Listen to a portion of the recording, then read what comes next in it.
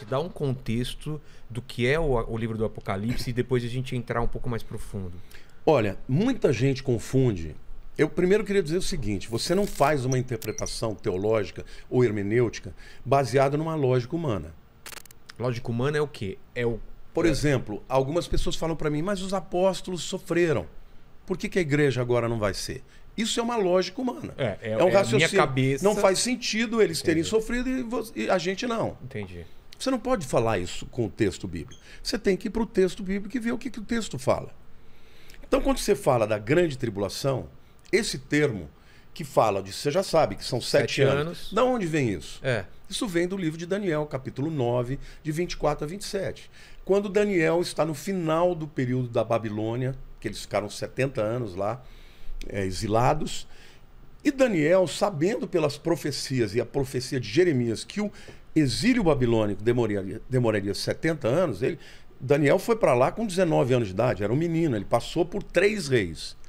E agora ele está lá com 89 anos, terminando 70 anos, ele, ele faz um jejum de 21 dias para saber como é que ia ser a saída do povo de lá.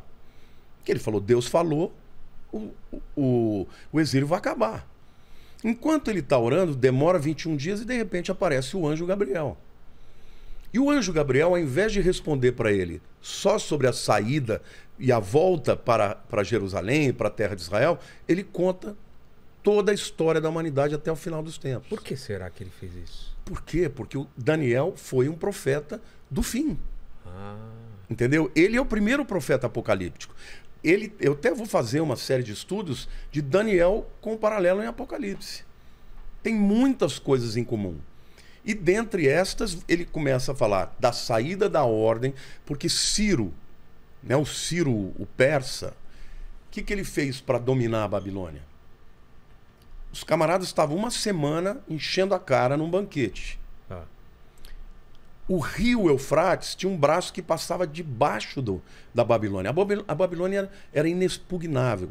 Ela tinha duas muralhas. A muralha exterior tinha mais ou menos uns 30 metros de altura. Era impossível. Prédio de você- 10 andares. E tinha a largura de mais ou menos 8 a 10 metros de largura. Nossa! Eles faziam corrida de biga lá em cima. Depois disso tinha um fosso, vinha uma segunda muralha também poderosa. seja, Era inexpugnável Intransponível. transponível. O que, que eles fizeram? Eles desviaram o curso do rio. Aí ficou o vão. Aí eles entraram Pelo onde era o rio. e os camaradas estavam todos enchendo a cara, eles dominaram num dia. Quando eles chegaram, a Bíblia conta daqui Belsazar, né, que era o, o, o rei na época, estava lá usando os cálices do, do templo e enchendo a cara e coisa e tal. E ele viu na parede escrita Mene Mene Tekel Parsim. E ele ficou maluco, chamou os sábios, falou: O que está escrito aí? Ninguém sabia, ele chama Daniel. E Daniel traduz aquilo. Pesado foste na balança e foste achado em falta. Hoje, o teu reino será tirado das suas mãos. Pesado foste Na balança e foste achado em falta. Hoje, o teu reino será arrancado das suas mãos. Quando Daniel está falando isso, entram os exércitos de Ciro e mata todo mundo e acaba a Babilônia ali. Só que Deus é tão tremendo que 150 anos antes, através do profeta Isaías, ele tinha chamado Ciro pelo nome. Chama de Ciro, o meu pastor Nossa. vai libertar o povo e, e abençoar o povo de Israel. Quando Daniel vem e fala aquilo para Ciro, ele fala: Mas onde está isso? Aí Daniel mostra as escrituras. Aí o Ciro chega para Daniel e fala: O que você precisa para que o povo volte? Ele escreveu um decreto, ele devolveu utensílios, ele deu cartas nas províncias para que o povo voltasse. E o anjo Gabriel fala da saída da ordem. Quer dizer, veja, o anjo já está avisando que ia ter a saída e que ia ter um decreto para sair. Até.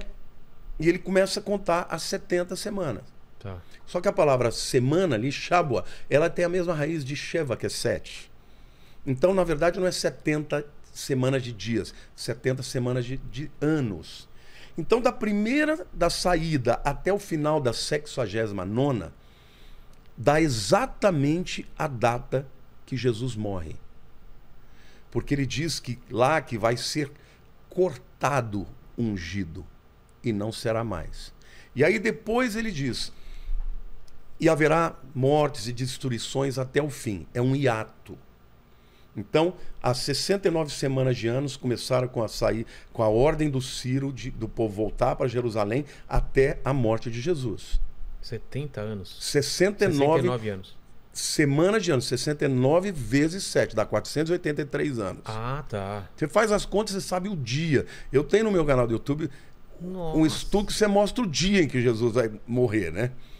Então, ah, Vilela, aí vem o hiato, que é o período da igreja.